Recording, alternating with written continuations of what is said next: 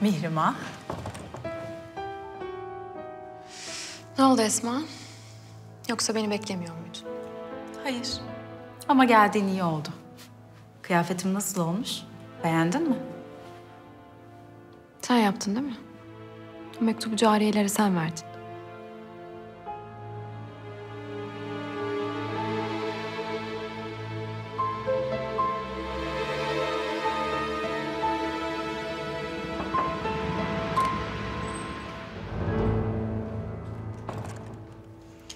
Reddedilmek ne acı.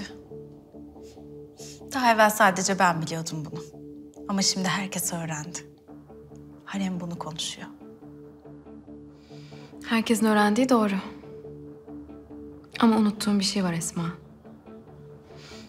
Malkoçoğlu'yla dedikodusu çıkan sendin. Ben değil.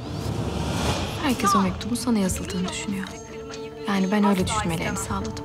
Ben yüce hünkârımıza ve hanedanımıza sadakatle bağlı bir askerim. Zinhar başka bir hayalim yok. Esma'na ait mektubun burada ne işi var? Bir malumatım yok sultanım. Arabamı hemen hazırlasınlar. Yanına gideceğim.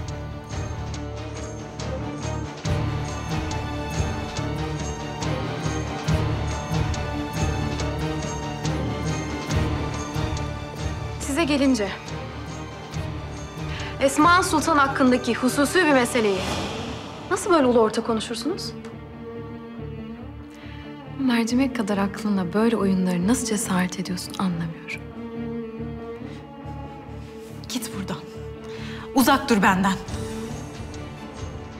Asıl sen benden uzak dur Esma. Bir daha yoluma çıkarsan seni öyle bir rezil ederim ki sen içine çıkamazsın. Anladın mı beni?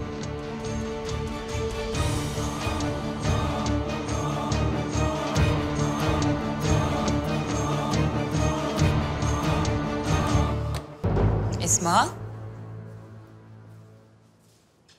Validem. Hatice yok mu? Odasındalar validem. Akşam yemeğine de inmediler.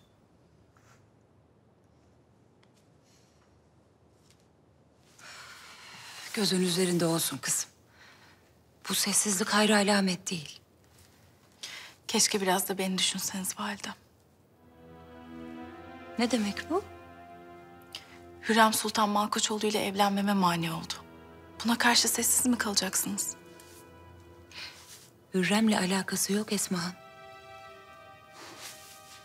Hünkârımız münasip görmediler.